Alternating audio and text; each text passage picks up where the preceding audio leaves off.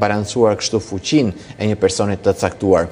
Dhe të gjitha këto mbahen në konsideratë nga këta persona dhe ka pikëpyetje të ndryshme se mund të kemi lëvizje në emra të caktuar që janë mjaft të rëndësishëm për partinë socialiste, disa prej tyre kemi përmendur, Taulant Balla që ka kaluar për shembull nga Elbasani, në Fier, flitet se mund të kalojë në Shkodër ose në Tiranë. në momentin që në Shkodër, sepse zonja Spiropali që drejtonte Shkodrën për shembull aktualisht është kryetare e kuvendit dhe në këtë sens mund të ketë nevojë për një, le të themi, për dikë tjetër që të marrë përsipër mhm. një terren të tillë, apo në Tiranë dhe këtu automatikisht lind pyetja po përse do të duhet të spostonte Edi Rama Erion Veliajn nga Tirana.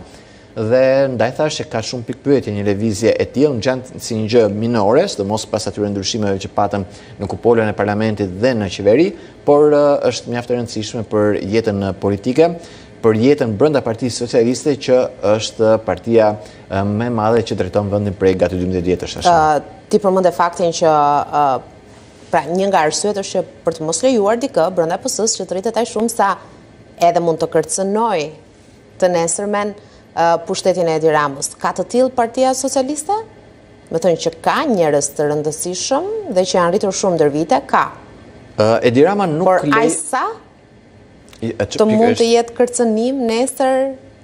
Edi Rama ka treguar se ka qenë gjithmonë shumë i zoti që mos t'i lejojë këto grupime të partisë socialiste të kthehen aq të fuqishme, sepse si çdo forcë politike po. dhe partia socialiste ka grupimet e veta, mhm. ka njerëz që mbledhin rreth vetes të tjerë dhe në këtë sens Rama ka qenë gjithmonë shumë i kujdesshëm që asnjë prej këtyre grupimeve apo poleve të mos kthehet aq i rëndësishëm, aq i madh sa mm, në të ardhmen të të përbëjë një rrezik potencial për të dhe pushtetin e tij si drejtues i partisë socialiste. Me ndryshimet në qeveri ne pamë pak më herët, pak ditë më parë për shembull e kemi komentuar bashkë që ndryshimet e fundit treguan që Kemi një le të themi dobësim në thonjëza të atij që konsiderohet si grupimi i Erion Veliajt brenda mhm. partisë socialiste dhe një forcim deri diku të atij që konsiderohet si grupimi i zonjës Balluku.